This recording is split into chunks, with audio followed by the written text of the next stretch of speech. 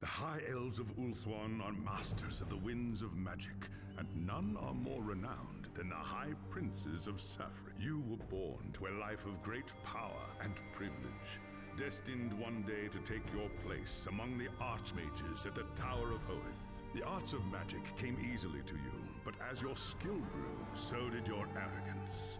A rivalry with another student at the tower spun out of control, culminating in a magical duel that left your rival dead and one of your teachers crippled.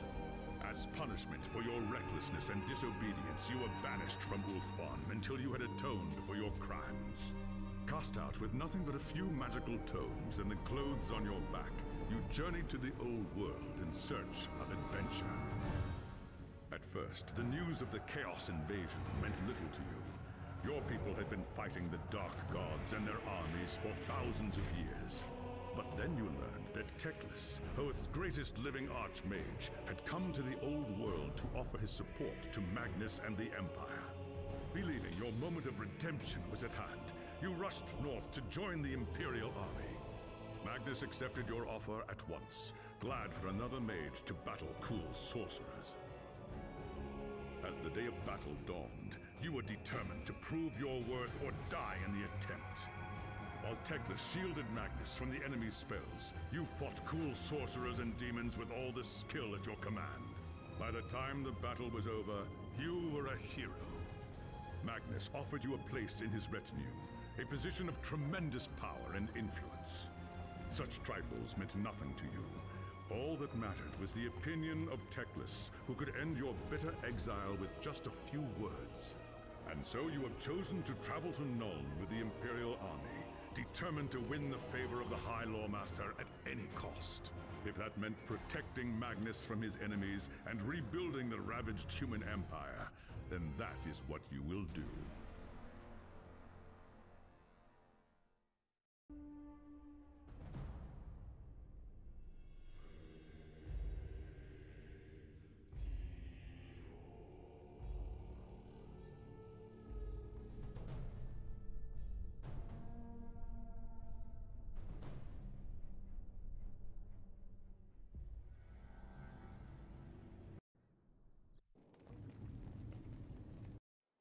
Was an age of lawlessness and despair, a time of dark magic, treachery, and war. It is a night made for witchery and evil deeds. And across the city, guardsmen clutch their weapons tightly and count the hours until the dawn.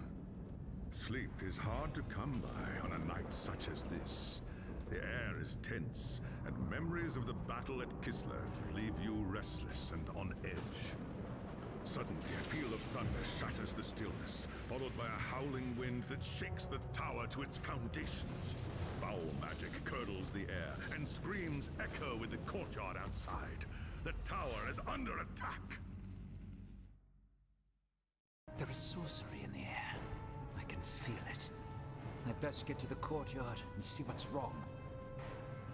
So, und damit ein herzliches Willkommen zu Warhammer Chaos Pain. Also, ich bin wirklich schon gespannt. Also, ich habe ja den. Da gab es ja so einen vorigen Teil, keine Ahnung, wie der jetzt nochmal Mage, irgendwas bla bla bla. Gab es ja irgendeinen anderen Teil, der was quasi so ähnlich auf. Also, zwar schon so aufgebaut worden ist, aber nur anders ein bisschen. Der ist jetzt noch mehr Diablo-Style. Und deshalb habe ich mir gedacht, ich werde das. Ich, ich werde es nochmal ausprobieren. Weil damals äh, habe ich da noch die Probleme gehabt mit, ähm, mit dem PC oder was auch immer. Da habe ich dann komplett alles abgebrochen, was ich aktuell spiele, auf alles geschissen. Und ich habe mir gedacht gehabt, jetzt gebe ich mal dem Spiel wieder eine Chance und nehme halt den neuesten Teil halt, weil, Alter, Diablo, also, es, ich habe so gefühlt auf der Switch, so sehr. Und ich hoffe, dass ich es jetzt auch so fühlen werde. Ich bin aber leider nur enttäuscht, warum das auf, auf Englisch ist, weil der vorige Teil, also nicht Vorgänger, ihr wisst eh, was ich meine, ähm, war auf Deutsch. Das finde ich ein bisschen. Ja, finde ich interessant. Alter, also. Ich mag das voll, Alter. Ich stehe so voll drauf auf solche Sachen. Bin gespannt. Bin wirklich gespannt, wie das da so ablaufen wird und alles drum. Es gibt ja mal nur vier Charaktere zur Auswahl. Mich hat eigentlich ganz ehrlich im Prinzip einfach nur der Magier dabei so angesprochen. Frag mich auch, ob man jedes Mal bei einem anderen Ort startet oder sonst irgendwas, wenn man jetzt den oder den Charakter jetzt nimmt. Wäre auch sehr interessant. Oder ob man vielleicht sogar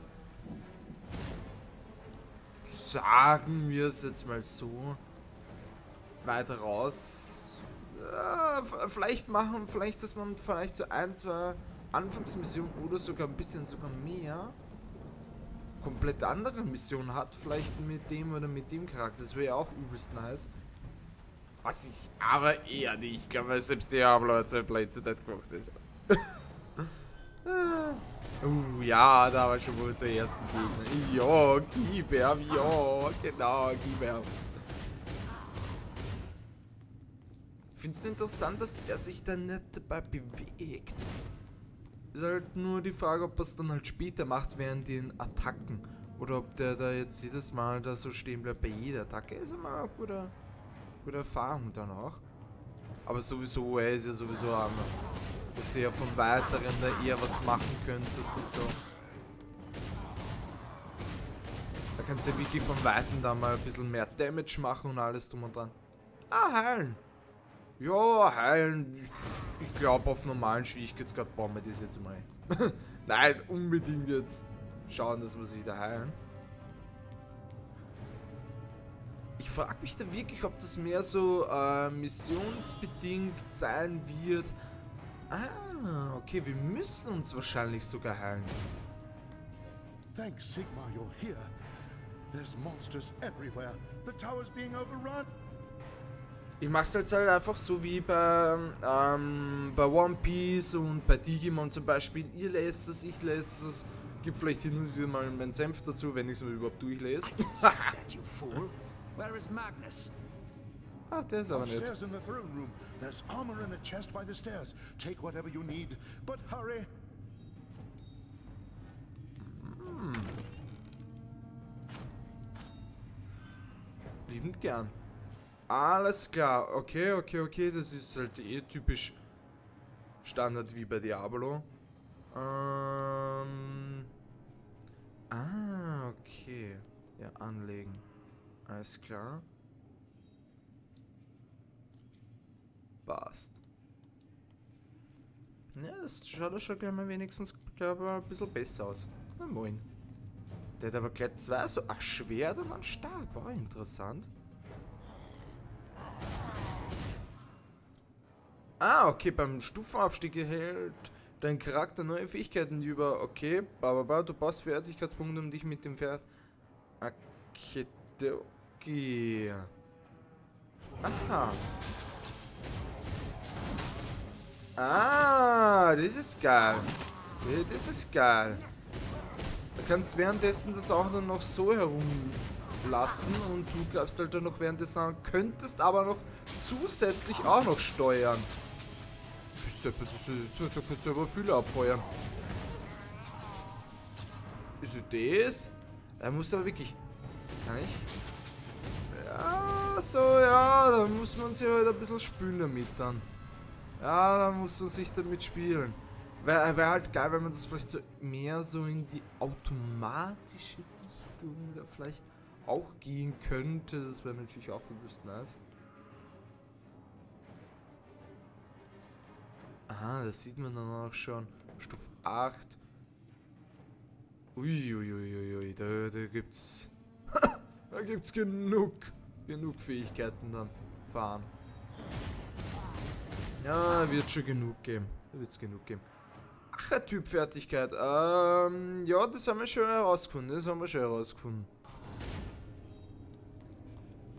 Frag mich hier mehr, ob's da Ah, okay, auch interessant.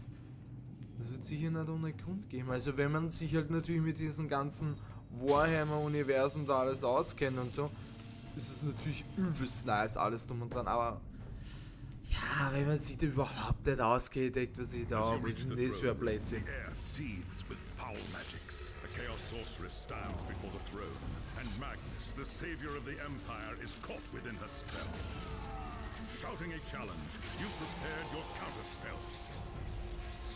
But the enemy struck first.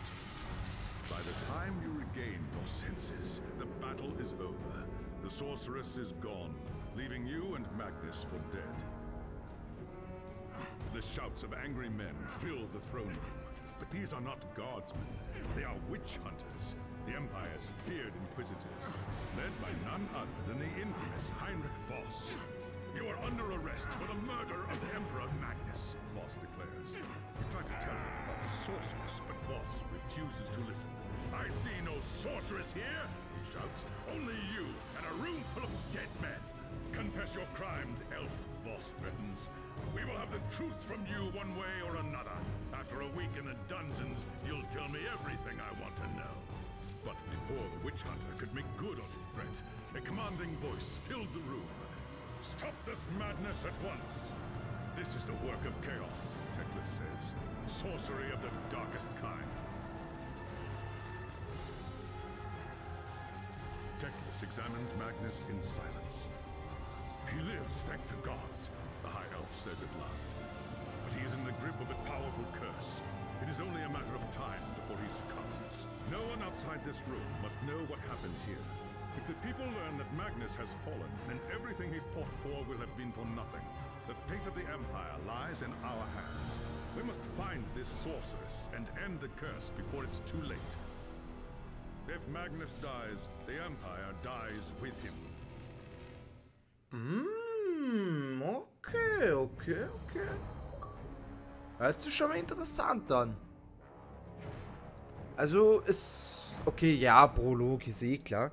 Aber es hört sich schon so danach an, wie wäre das so ein bisschen aus, so was Eigenständiges für einen anderen Charakter. Dann kommt der hat ein eigenes Prolog und der andere dann wieder ein Prolog.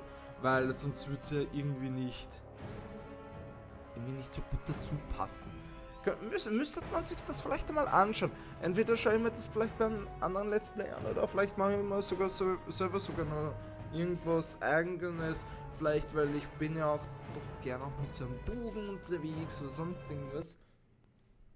Oder wenn ein komplett neuer Charakter rauskommt. Dann wäre ich gern dabei. Also dann, dann würde ich mir das schon gerne anschauen. Ob man da auch den Anfang der Beziehung